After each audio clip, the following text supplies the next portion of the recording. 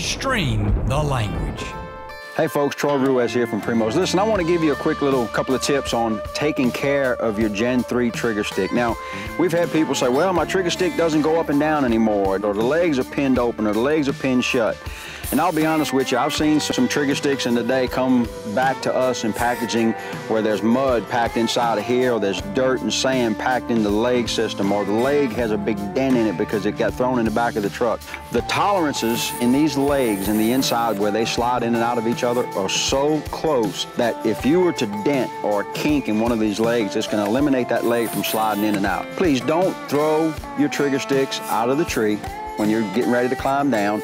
Don't lay them in the back of the truck with other things in the back of the truck. As far as this trigger right here, same thing. When you start throwing it in the back of the truck or you laying it in places where something may hit it, it will break. Everything inside of here is all O-ring based. As far as dirt and water and nastiness, most of the water will come off. But if you happen to get any water inside of the legs, and even though the tolerances are so close, there's still gonna be some water that'll get in there. And sometimes you can even hear it when you're turning it, you'll hear the water running in the legs. What I like to do is I'll turn it upside down and I'll just leave it sit in my garage or outside somewhere upside down for a little while and let that water drain to the head and it'll come out of the, the sides of the head and if there's any more left in there, just turn it back the other way. Now I will say if you submerge this thing in water, if you're gonna take it on a duck hunt and you're gonna use it as a walking cane or you know a walking stick while you're duck hunting in, in some flooded marsh, it's not recommended that you do that with it. It's made for dry ground. It's not made for any aquatic adventures, should I say.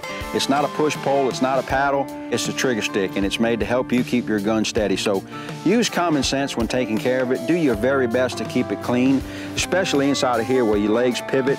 You'll get mud and dirt and sand in there, and it'll sure lock it up from where it needs to go. But to keep your trigger stick working in its full capacity, do your best to keep it clean and take care of it.